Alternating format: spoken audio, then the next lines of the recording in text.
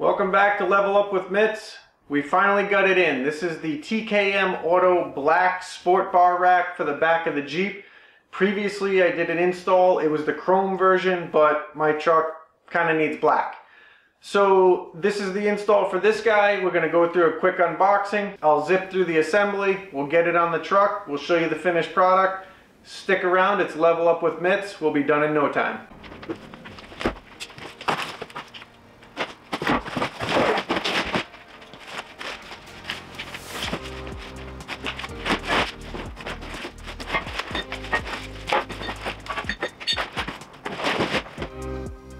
Out of the box. As you can see, it looks great.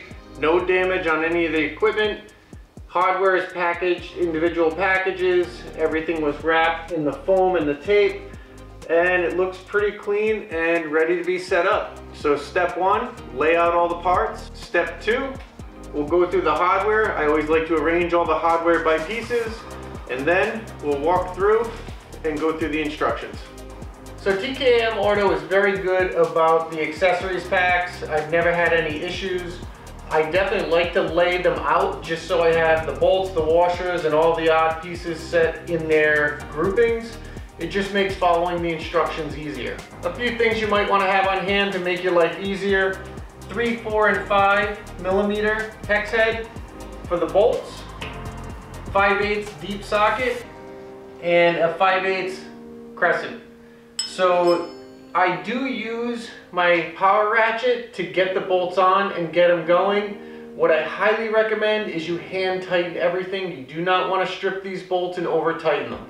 So get it started with this if you want, but finish up by hand with a crescent wrench or the provided Allen wrenches. You'll save the bolts, you won't strip them, and it's a much better secure fit when you do it by hand.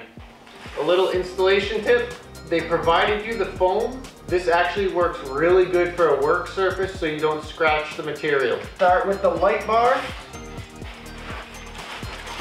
And then we're gonna add the sides. Once you get them lined up, there's two threaded. There's a slot. Just feed it right into the tubing. Loose fit, required bolts, tighten it up. On the other side, you have the additional wire for the brake light. You're probably gonna wanna feed that through the tube. That way you get it close to the bed and then you can figure out how to tie it into the wiring of the truck later. So the back setup is all ready to go. It is actually its own bag of hardware. You have the bolts, you have the lock washers, and the regular washer. You just line them up, hand tighten, bolt, lock washer, washer, same thing. Repeat this on both sides and the top frame is started.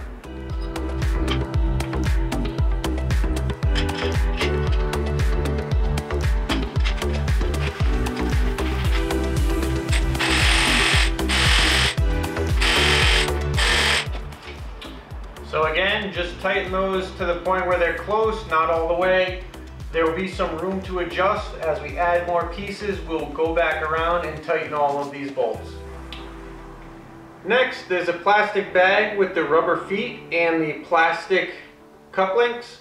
The rubber feet are for the bottoms that will go on the bed or on the bed brackets and the two hard plastic cups are going to go on the end pieces and fit right around this tubing. Next is the crossbar. Feed it in one side, feed it in the other side. You have two mounting holes right here. The provided hardware goes through and you bolt it in. I'm gonna save you a ton of time. So the way that I found to make all these parts line up, when I originally set them up through the directions, I was off on all sides. I could not get the badge on the side, nothing lined up. What I did was, I took the angled side rail, the curve goes to the tailgate, and the flat riser should be on the inside. So I mounted the badge bolts on the outside and basically put this arm on. Then, with everything assembled for the over the cab, stand it up, mount it in here first, and then attach them. I could not get them to line up properly. And as you can see, this one over here, this is the way it would look. You have the flat side on the outside with the badge mounts. I put this tech screw in and this tech screw in first. I have not put this one in yet, but I could not get this to align the other way.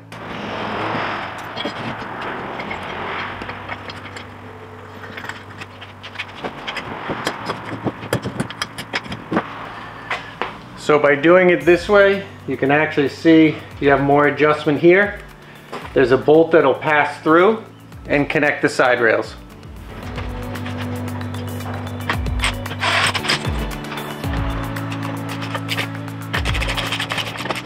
The badges, basically start the four bolts,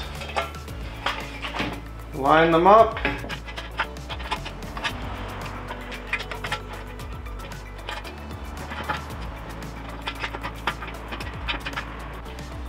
Mounting the light bar extension rack is pretty easy. Lip facing down. Start in the center. Add a nut.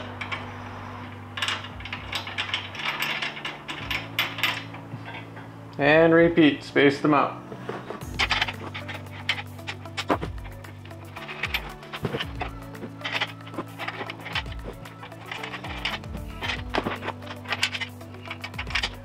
These will adjust in and out.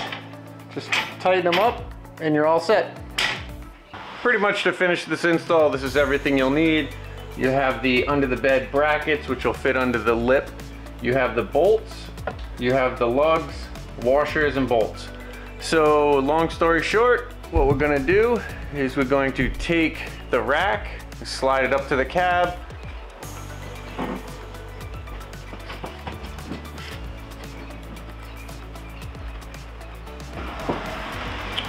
Once you slide it to the cab, you wanna make sure your measurements are the same on both sides. That way the rack is not off-centered. I still have the bolts loose. Once I get this aligned and mounted to the bed, I'm gonna go through all the bolts and hand tighten them again.